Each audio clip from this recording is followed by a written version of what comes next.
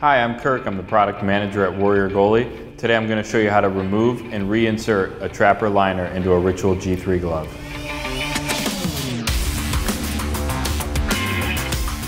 The first step in removing the trapper liner on the Ritual G3 trapper is to open the cuff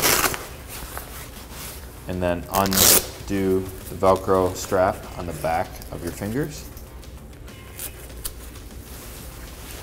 Then I'll undo the leather strap across the wrist and the back hand.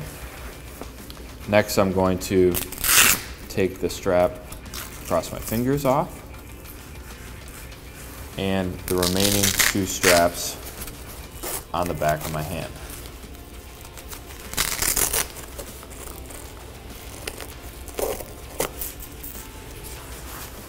Once that's done, I'll pull the palm out of the glove. And that's how you remove the palm. The first step is to line up the Velcro. Take the thumb and slide it in.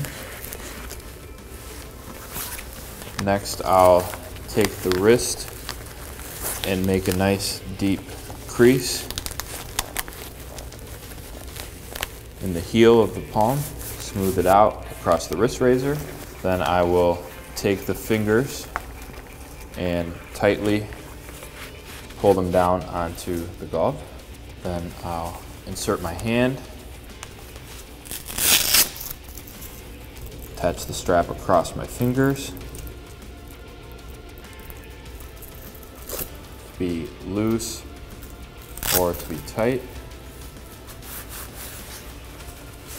Next, I'll go to my wrist. Now I'll attach the three-point strapping system.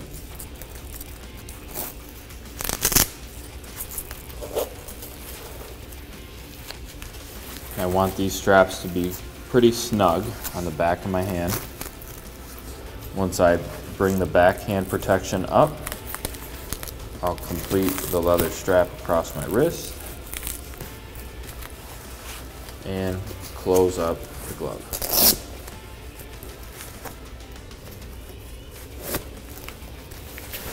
So whether you're changing the size or the catching angle of your trapper, that is how you remove and reinsert a ritual G3 Trapper liner.